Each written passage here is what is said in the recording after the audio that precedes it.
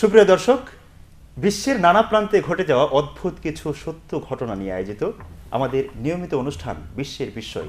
অনুষ্ঠানে স্বাগত জানাচ্ছি আমি শেখ রাইহান আমি রফিক প্রামাণিক। ইন্দোনেশিয়ার মোবা গোথো এখন সংবাদের শিরোনাম। কেননা, সম্প্রতি তিনি নিজের একশো চৌষট্টিতম জন্মদিন পালন করলেন। মিডিয়া শুধু খবরটি দেয়নি, এর সাপেক্ষে পেশ করেছে উপযুক্ত প্রমাণও। প্রমাণ অনুযায়ী আঠারোশো সত্তর সালের একত্রিশে ডিসেম্বর তার জন্ম।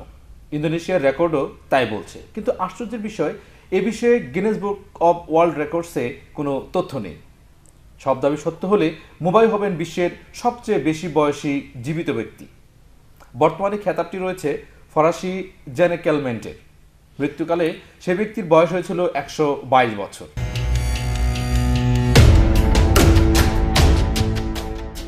মবাহ নামক এই ব্যক্তি এখনও জীবিত। তিনি গত একত্রিশে ডিসেম্বর জন্মদিন পালনও করলেন সমারোহ করে পরিবারের সদস্যদের সঙ্গে। এক ফুঁতেই নিভিয়ে দেন সব মোমবাতি। তার দম দেখে উপস্থিত সকলেই চারপোর্ণায় বিস্মিত। জন্মদিনের অনুষ্ঠানে উপস্থিত হয়েছিলেন তার নাতি, পুতি, তাদের সন্তানরাও। কিন্তু প্রশ্ন হচ্ছে, দীর্ঘ আয়ুর রহস্য কী? তার উত্তর, খাদ্যাভ্যাস। সেই কবে উনিশশো বিরানব্বই সাল থেকেই তিনি নাকি মৃত্যুর জন্য প্রস্তুতি নিতে শুরু করেছিলেন। এমনকি সে সময় তৈরি হয়েছিল তার সমাধি ফলকও। তারপরও কেটে গেছে আরও চব্বিশ বছর। এখনও তিনি বহাল তবিয়তে জীবিত। চোখে ভালো দেখেন না বলে মোবাহ টেলিভিশন দেখেন না, তবে রেডিও শুনেই তার সময় কাটে।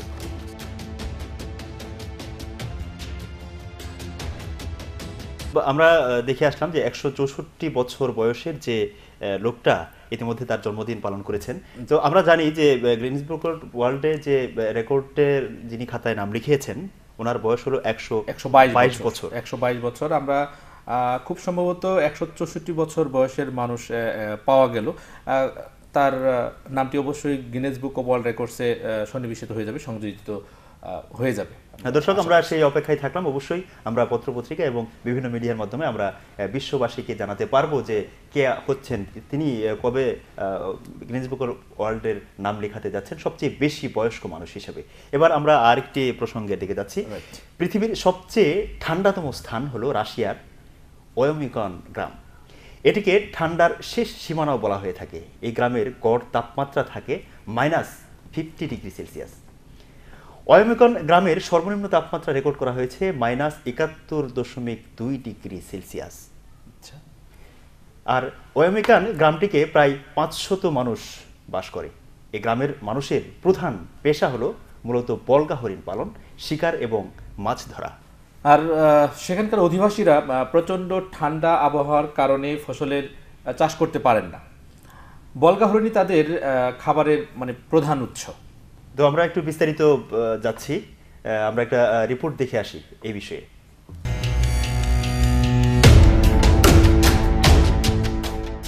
গ্রামবাসী এখন ঠান্ডায় অভ্যস্ত হয়ে গেছেন। তবে তাপমাত্রা যদি মাইনাস বায়ান্ন ডিগ্রি সেলসিয়াসের নিচে নেমে যায়, তখন গ্রামটির একমাত্র স্কুলটি বন্ধ রাখা হয়। প্রচণ্ড ঠান্ডার কারণে অয়মিকন গ্রামের বাসিন্দাদের বেশ কিছু সমস্যার সম্মুখীন হতে হয়। এর মধ্যে রয়েছে কলমের কালি জমে যাওয়া, বন্ধ করার পর গাড়ি ফের চালু করা। সবচেয়ে বড় সমস্যা হলো, গ্রামের কেউ মারা গেলে বরফের কারণে তাকে কবর দেওয়ার জায়গা পর্যন্ত পাওয়া যায় না। সেক্ষেত্রে মৃতদেহ ভর্তি কফিন সমাধিস্থ করার আগে কবর খননের জন্য আগুন জ্বালিয়ে বরফযুক্ত মাটি কাটা হয়। আর এই প্রক্রিয়া সম্পন্ন করতে অন্তত তিন দিন সময় লেগে যায়। তবে এই তাপমাত্রার কারণেই কিন্তু অয়মিকান গ্রামটি পর্যটকদের জন্য আকর্ষণীয় স্থানে পরিণত হয়েছে। কিছু কিছু ভ্রমণ বিষয়ক প্রতিষ্ঠান ঠান্ডার শেষ সীমানা নামক গ্রামটি সফরের জন্য নতুন ভ্রমণ পরিকল্পনা তৈরি করছে।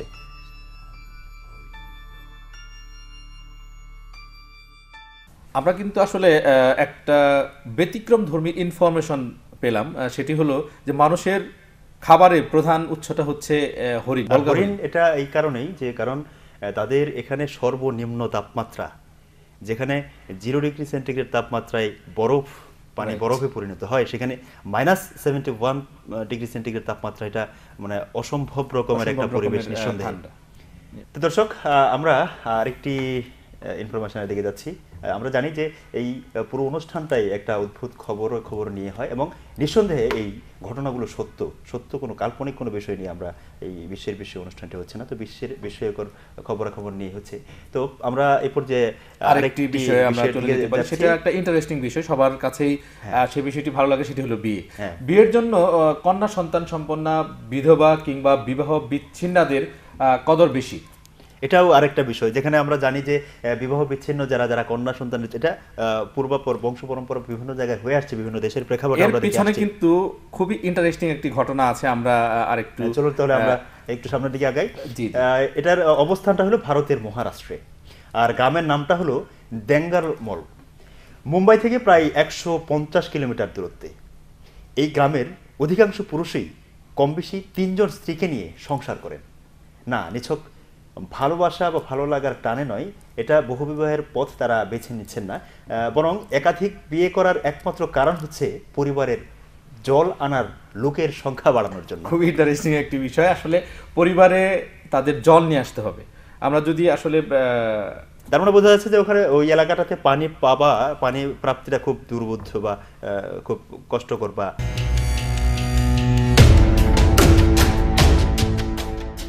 দেঙ্গানমল এমন একটি গ্রাম যেখানে প্রবল পানির কষ্ট। প্রত্যন্ত এই গ্রামে পানির একমাত্র উৎস কয়েকটি কুয়ো। সেই সমস্ত কুয়া গ্রীষ্মে শুকিয়ে যায়। তখন পরবর্তী কুয়া বা নদী থেকে জল বয়ে আনা ছাড়া উপায় থাকে না।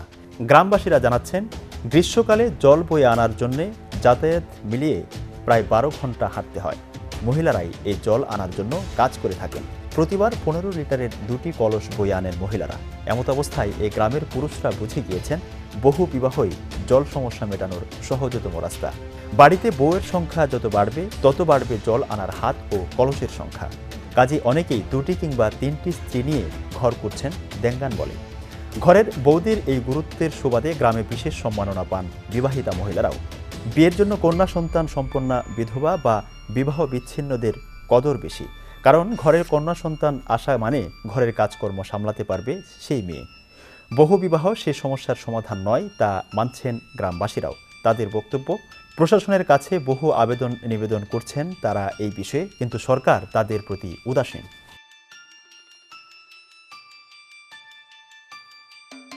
সুপ্রিয় দর্শক, সময় হলো ছোট্ট একটি বিজ্ঞাপন বিরতি নেবার, আর বিজ্ঞাপন বিরতির পর আমরা আবারও যথারীতি অনুষ্ঠানে ফিরে আসব। ততক্ষণ পর্যন্ত আমাদের সাথেই থাকুন।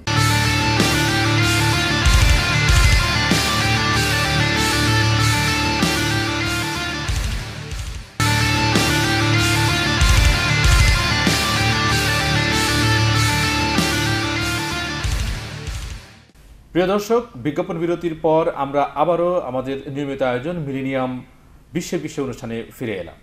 সুপ্রিয় দর্শক, আমরা দেখে আসলাম তিন বিবাহের কারণ এবং এর প্রতিকার। আর এবার আমরা একটু অন্যদিকে যাচ্ছি।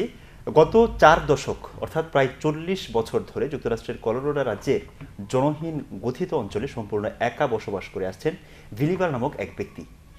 সেখান থেকে তিনি আবহাওয়া সম্পর্কিত প্রাকৃতিক পরিবর্তনের পুঙ্খানুপুঙ্খ তথ্য উপাত্ত সংরক্ষণ করে আসছেন ব্যক্তিগত শখ হিসাবে।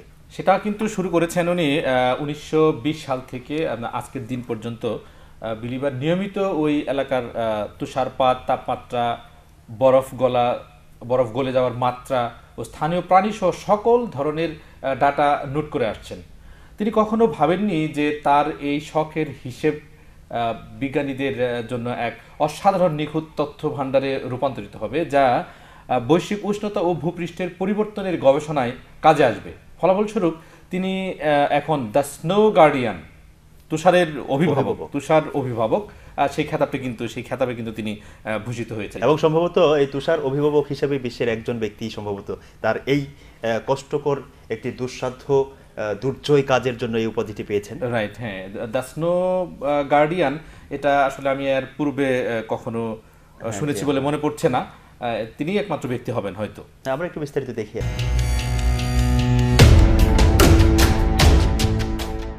আমেরিকার নিউ জার্সিতে বেড়ে ওঠা ভিলিভিয়ার গ্রোথিস এলাকায় প্রথম আসেন উনিশশো বাহাত্তর সালে রুটজার্স ইউনিভার্সিটিতে পরিবেশ বিজ্ঞানের ছাত্র থাকাকালীন সময়ে। কোলাহলপূর্ণ জীবন কখনোই তাকে টানেনি। পরবর্তীতে নিরিবিলি জীবন খুঁজতে গিয়ে তিনি তার পড়াশোনার পাঠ গুছিয়ে স্থায়ী বাসিন্দা হয়ে চলে আসেন জনমানবহীন এই ভুতুরে শহরে। উনিশশো চুয়াত্তর সালে বিলিবার পূর্ণ মাত্রায় তার শীতকালীন ক্যাম্পিং শুরু করেন ওই এলাকার এক ক্ষুদ্র তাঁবুতে। কিন্তু সেখানে বছরে পঁচিশ ফুটের উপর তুষারপাত হয়। ওই বছর যা ওই এলাকার জন্য মোটেই স্বাভাবিক ছিল না।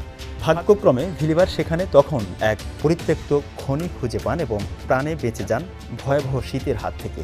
ওই খনিতেই তিনি পরবর্তী আট বছর এক নাগারে সেখানেই কাটিয়ে দেন এবং শুরু করেন তার তুষারপাতের ডাটা সংগ্রহের কাজ। ভিলিবার বলেন, আমার আসলে কিছু করার ছিল না ওই সময়টাতে। শুধুমাত্র কৌতূহলের বসেই তথ্য সংগ্রহ শুরু করি। খনির আশ্রয় ছেড়ে তুষার অভিভাবক তার স্থান পরিবর্তন করে অন্যত্র চলে যান বটে, কিন্তু তার অপেশাদার গবেষণা চালিয়ে যেতে থাকেন। তিনি তুষার ডাটা সংগ্রহ করতে থাকেন একান্তই নিজস্ব পদ্ধতিতে। দাগ দেয়া খুঁটে এবং স্নোবোর্ড বরফে পুঁতে তিনি তথ্য নিতেন যা পরিষ্কার করতে তার কখনো কখনো দুই দিন সময় ব্যয় করতে হতো। পঁয়ষট্টি বছর বয়সী বিলিভারের নিখুঁত হিসেব করা পর্বত থেকে ধেয়ে আসা তুষার ঝড়ের বর্ণনা ও তথ্য বর্তমানে গবেষকদের কাছে অত্যন্ত মূল্যবান হিসেবে গণ্য। বৈশ্বিক তাপমাত্রার প্রভাব সম্পর্কে বহু মূল্যবান তথ্য পাওয়া যায় ভিলিবারের এই গত চল্লিশ বছরের নোট থেকে। এই নিরলস প্রচেষ্টা কোনো গোপন এজেন্ডা বলার সুযোগ নেই, কারণ তিনি তার এই প্রজেক্ট শুরু করেছিলেন এতটাই আগে যে সাধারণ মানুষ বৈশ্বিক উষ্ণতা বা গ্লোবাল ওয়ার্মিং সম্পর্কে তেমন জানতেনি না। নিজ জীবনধারণ বর্ণনা পদ্ধতি বর্ণনা করতে গিয়ে বিলিবার বলেন, অনেকেরই হয়তো ধারণা যে আরামদায়ক চেয়ারে নিজ কক্ষে বসে বই পড়তে পড়তে কিংবা জানালার বাইরে তুষার পড়ার দৃশ্য দেখতে দেখতে এতগুলো বছর ধরেই এই তথ্য লিখছি। আসলে তা নয়। বাস্তবতা হলো, এটা অনেক বিরক্তির একটা কাজ, কিন্তু আমি এটা করতে ভালোবাসি।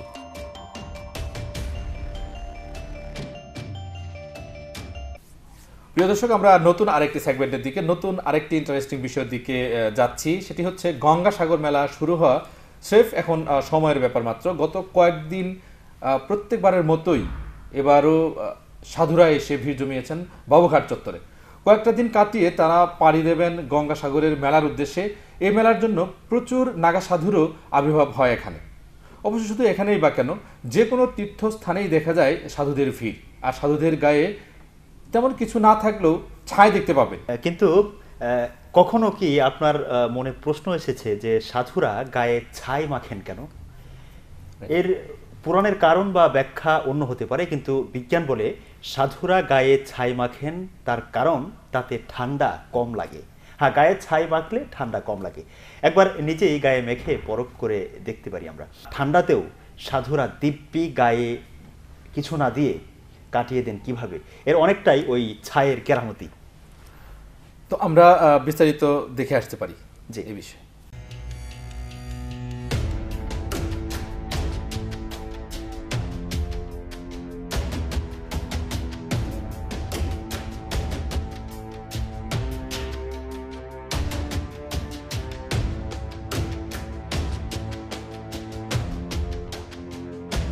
এবার আরেকটি প্রসঙ্গের দিকে যাচ্ছি আমরা। পর্বত কন্যা হিসেবেও সমাদৃত জোনকু তাবি। এভারেস্ট বিশ্বের প্রথম নারী তিনি। পৃথিবীর প্রথম নারী হিসেবে সর্বোচ্চ শৃঙ্গ এভারেস্ট জয় করেছিলেন উনিশশো পঁচাত্তর সালে। উনিশশো বিরানব্বই সালে প্রথম নারী হিসেবে জয় করেছেন সাত মহাদেশের সাত সর্বোচ্চ শৃঙ্গ। শুধু তাই নয়, দুই সালের মার্চ মাস পর্যন্ত জয় করেছেন আটান্নটি দেশের সর্বোচ্চ শৃঙ্গ। উনিশশো উনচল্লিশ সালের বাইশ সেপ্টেম্বর জাপানে জন্মগ্রহণ করেন তিনি। জুনকোতাবের অনন্য এই রেকর্ডের ফলে পৃথিবীর প্রথম এভারেস্ট জয়ী নারী হিসেবে তার নাম লেখা হয়ে গেছে গিনেস বুক অব ওয়ার্ল্ড রেকর্ডসে দুই হাজার বারো সালের চব্বিশ ডিসেম্বর বাংলাদেশে এসেছিলেন জুনকোতাবে আর তৎকালীন চুয়াত্তর বছর বয়সী এই পর্বত কন্যা জয় করে ফিরেছেন কেউকাডাং